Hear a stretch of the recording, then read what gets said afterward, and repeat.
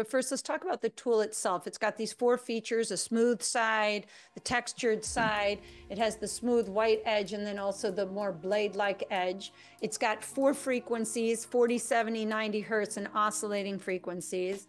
Why is all of this related to fascia, well-being, resilience, health? Give everybody a little lowdown on that device. Once you start to understand that the fascia is a multidimensional system, it has a lot to do with your interoception, the way we walk, the way we pose, the way we gesture, is extraordinarily important. And I was always looking for ways to complement what my hands were doing. So the fascia hydrator was inspired because I wanted to change lymph hydration and bring in a different aspect of plasticity. I wanted a different pliability in the tissue. So being able to measure something was the revolution to be able to understand what are we doing when we're manually working on someone, what are we doing with the tissues, how are we changing the stiffness, how are we changing hydration, and what effects are we having on the autonomic nervous system. And the fascia hydrator changes lymph flow. This is the first tool in the world which shows changes objectively and subjectively in cellulite.